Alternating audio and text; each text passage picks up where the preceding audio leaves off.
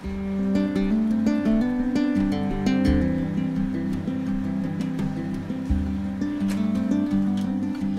hello everyone. Welcome back to my homestead. I'm Kaye here in my kitchen and I'm starting a new series today. Should I say reinterpreting or interpreting my mother's recipes. Now my mother was a wonderful cook and she was a casserole queen as many, many mothers were back in the 60s, 70s, 80s. it was just very popular to have a beautiful casserole to take over, you know, to a gathering. Today's Thanksgiving, but I am making sweet potato souffle. Now this is a recipe that I have wanted to share for a long time and I'm just now getting around to doing it. These are written on just regular note cards in my mother's handwriting and they're a little short on description. They've got the ingredients, but it's a little short on description, so I had to really interpret the first time I made this. Uh, last week I made it and I doubled the recipe, so I had to really kind of interpret cooking times and all of that. And of course, I do things a little different than my mother did. She always used margarine. It was very popular. I'm using coconut sugar instead of brown sugar. You know, we didn't have unrefined and low glycemic certified fair trade organic brown coconut sugar when I was growing up. We had brown sugar. And so, which was just sugar that, you know, they put brown coloring in or something. so I'm making a few little switches, but this is a delicious dish and I highly recommend this for a holiday because it has a nice topping. You can add even more of a topping because toppings were always used on top of casseroles back in the day. Now I am using, of course, sweet potatoes that I grew because I grew another 150 or so pounds of sweet potatoes this year. And I grew three varieties, white, uh, the traditional orange color, and also purple. And last time I put half and half orange and purple and the whole thing came out purple. So we'll see if this one purple will outweigh this big orange. We don't know what color it's going to wind up being. But this was such an unusual sweet potato. I had to save it for something special and show it to you. it looks like, I don't know what it looks like. It looks like an animal, doesn't it? It's so amazing because normally this would break off and you wouldn't get the whole thing out. But I, Randy was here and I said, wait, wait, wait, I want to excavate this entire thing. This was pointing straight down in the ground. It was laying like this. So when I got to here, I went, wait, wait, wait, I don't want to break it here. And so I wanted to get it all out intact, and I did. Also, you might notice these are very dirty, and if you want your sweet potatoes to preserve longer, I found that you just leave the dirt on until you're ready to use them. You cook the sweet potatoes, and while you're cooking the sweet potatoes, you get together, it calls for one and a quarter cup of white sugar. And I'm cutting back the sugar a little bit because there's also sugar in the topping. and so I am using one cup. Now I am going to double this because I'm going to a gathering with 13 people so I'm going to double this, this recipe anyway. So I'm going to just give you the basic amounts and I think that would be just a nine, eight or nine inch square baking dish because by doubling it, I went to this size. So this is the size I'll be doing today with the double recipe. And so you, you, you peel and quarter the potatoes, two to three cups, and I used three, or I'm doing six and you cook in a small amount of water. Here's one of those interpret the, uh, the directions. A small amount of water. Well, what do you consider a small amount of water?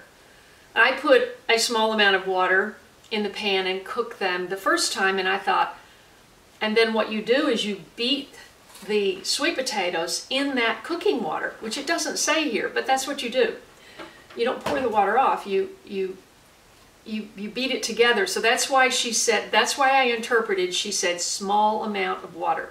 She didn't say steam the potatoes and then cream them. No, she said cook in a small amount of water with salt, and that's up to you, uh, till tender. Cream to thin consistency.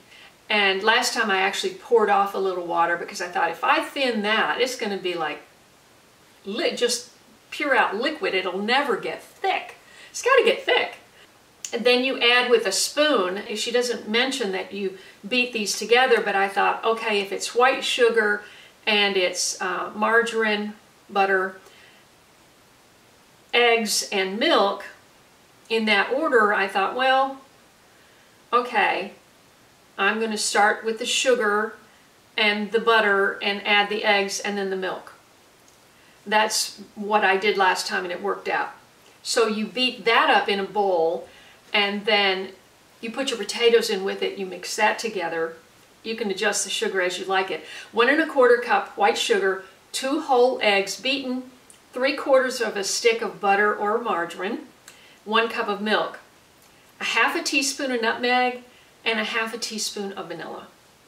Mix all these well with a spoon and then you pour it into your greased casserole and then you bake it at 400 degrees, she said, for 20 minutes. Now, when I doubled it, it was still too, I mean, it wasn't even formed, and I knew that I could never get a topping on top of that if I took it out in 20 minutes.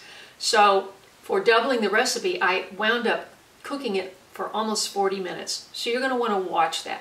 When you start to see, you'll see it. It bubbles from the side, and then it started gets, it, it works its way in getting solid. And so obviously if you have a pan that's uh, quite a bit smaller, it's going to work in faster than it does in this long pan. And then while that's baking, then you mix together the topping, which is just, once again, same amounts, three quarters of a stick of butter, and a half a cup of light brown sugar, and a half a cup of broken pecan pieces. And then you mix these together and she said mix, so I'm I interpreted that to mean mixer, using the mixer to mix them together because you know, you when you make cookies, you always cream your butter and your sugar together until it comes together. And then I added the pecans. And then of course she adds, you crush three quarters cups of cornflakes and sprinkle over the top. You return to the oven, 400 for 10 minutes. So I just left off the cornflakes and then I just put the topping on. And what I wound up doing is because the topping is, you know, it's, it's not thin, it's not hard enough to like spread it. So I just dolloped it on. Every two inches I put a dollop. And then when it gets back in the oven, it, you know, the butter melts and it all spreads out. So it all worked out great. And so now let's go through it and let me show you how we do it. I'm going to peel and quarter the sweet potatoes, wash them, peel, and quarter the sweet potatoes, and get them set up for cooking on the stove top. Okay, I've got my sweet potatoes cleaned, peeled, quartered, and now they are cooking in a small amount of water. Okay, I am doubling the recipe, but the recipe itself calls for one and a quarter cup of white sugar and three quarters of a stick of butter or margarine. So I'm going to cream this together.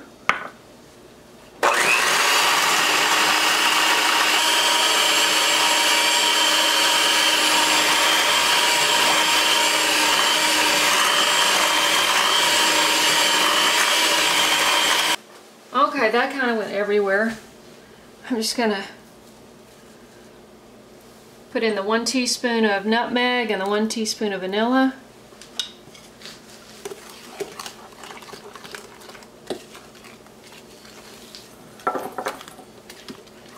It was a little smoother consistency last time. I think the butter was colder. But it doesn't matter because it's all to meld together in the uh, oven. Okay, we're just going to wait for the sweet potatoes.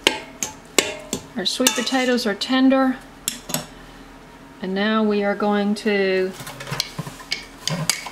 mix them with the mixer to a thin consistency with the little bit of water that's in there.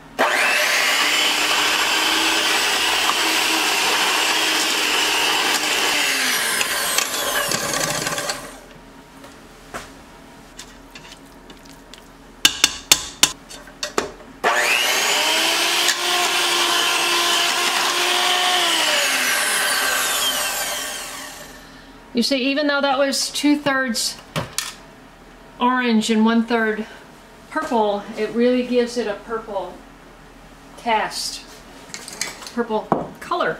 And now we're just going to add our mixture.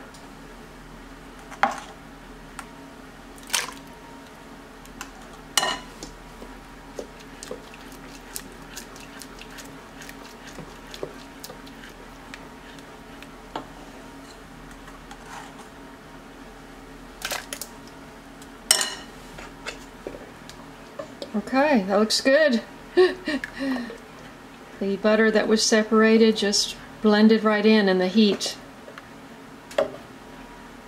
Okay, I have a greased casserole ready for the potato mixture.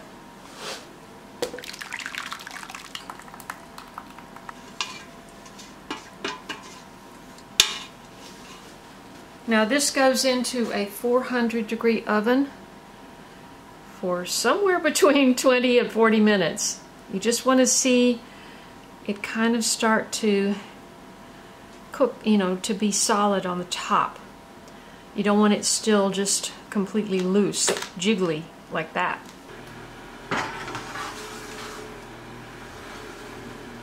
Okay, while that's cooking,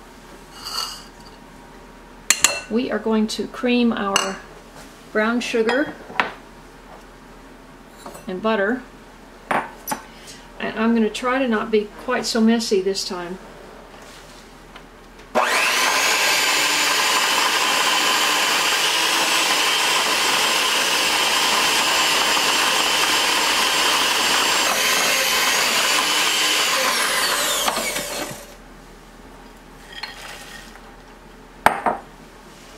Now you could just fold this in with your wooden spoon, but I'm just going to put it on a low speed and try to do it.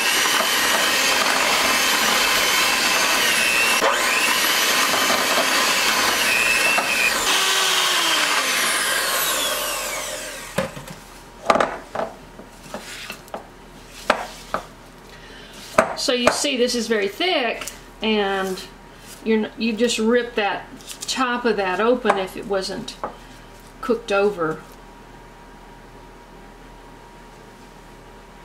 While that's cooking, I hope you'll take a moment to subscribe to my channel where I share recipes from the garden, easy recipes, and now recipes that my mother gave me. She is in a memory care unit in Nashville. She has dementia. She doesn't remember anything really of her life at all at this point. So it is so nice to be able to share something of hers there's so much I could share. I have so many things she made here. Let me know if you'd like to see some of them in the comments below. And I know I could go online and find 10 recipes for sweet potato souffle in about five minutes that would have very detailed instructions uh, as opposed to what's on here. But you know, I just wanted to see if I could take what she gave me and make a delicious dish and we'll see. It was really good last week. Let's see if this comes together. I I'm not sure why the the the butter separated. Maybe I beat it too long, but you know, when you're trying to film and make a recipe and, and look good and, and make it work right and everything, sometimes it's just not so easy. The camera's in the way. oh,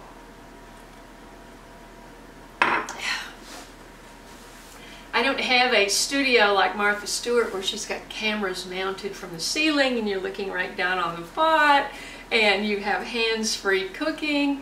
Now, the camera's like right here, you know, and you're just trying to beat around, beat around and get it and get it looking good. So hopefully, hopefully this will all come out and you'll please let me know if you try this recipe right from my instructions and leave me a comment below when she first went into this assisted living, she uh, claimed this golden chair, uh, this golden couch that was in the lobby.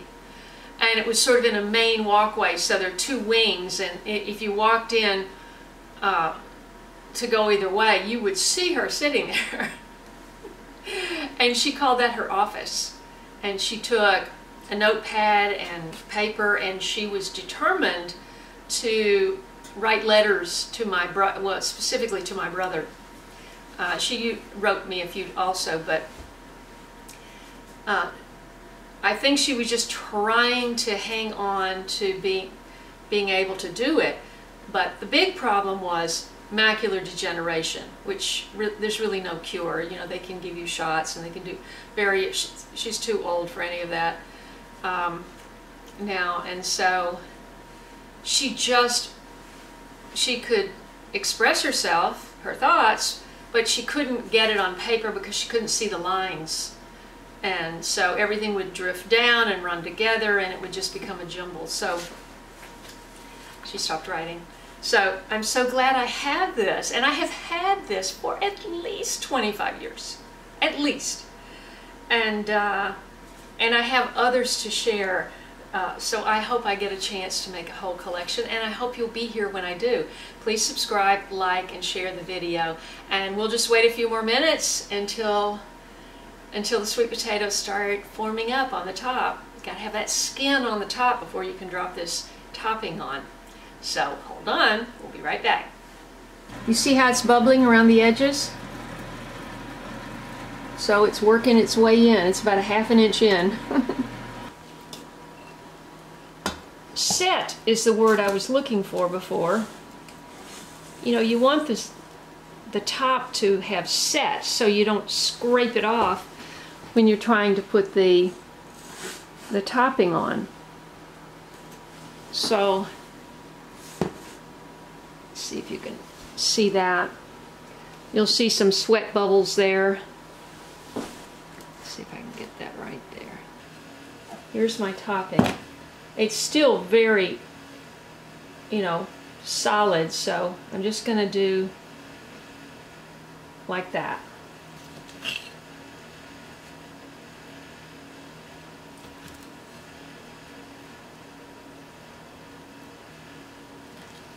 She did use the word spread the topping on, but that is so tender, I know it'll rip it apart. And this will serve the same purpose when the butter melts.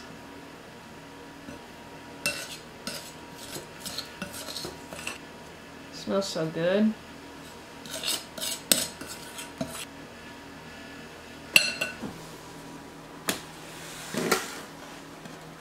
Okay, so now this is going to go for 10 minutes at 400. The temperature dropped down a little bit uh, when I opened it, so I'm going to give it like 10-12 minutes. I'm going to let that sit there for a minute until it stops bubbling and then I'll try to take it out.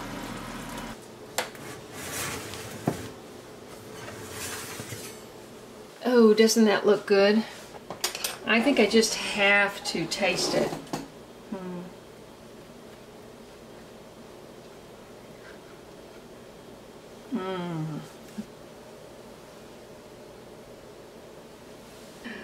Let's try it.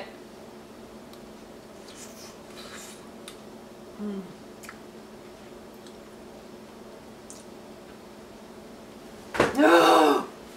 you see, the last time I, I made it the night before and I didn't want to I didn't want to put a mark in it so I hadn't even tasted it when I took it to the last dinner and I didn't warm it up. Oh my god, so much better warmed up.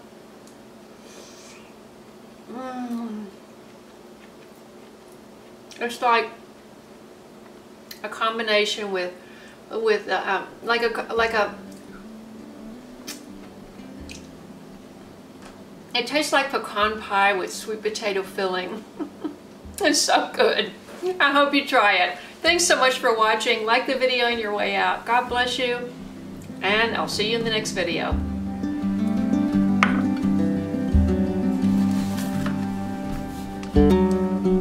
Could be messy. see how this goes.